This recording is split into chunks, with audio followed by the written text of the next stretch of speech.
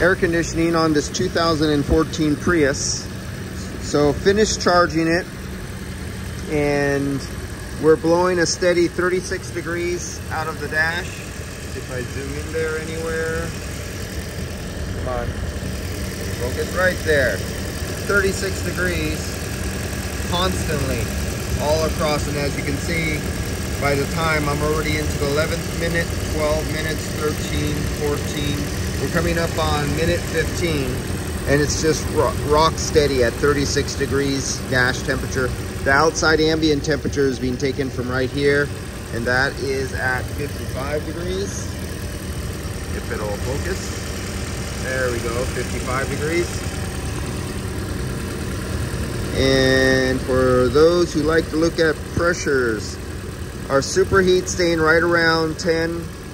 Oh, let's go back to correct refrigerant.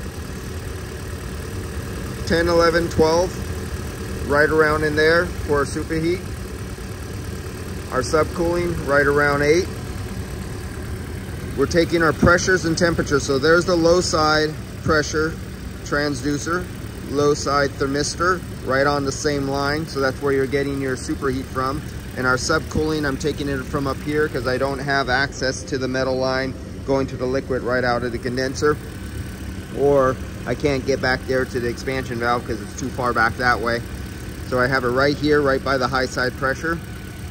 And for those who like to look at bubbles, because I know there's those people who just love to see if there's bubbles. If you can get in there. Right there. Oh, I have no light on, so you can't see exactly. Yeah, it's too dark.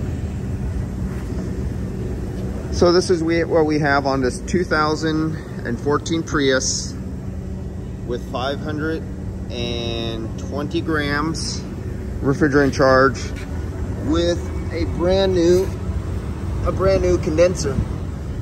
Condenser was replaced. And this is its operating parameters under these conditions. All right, guys, I'll see you.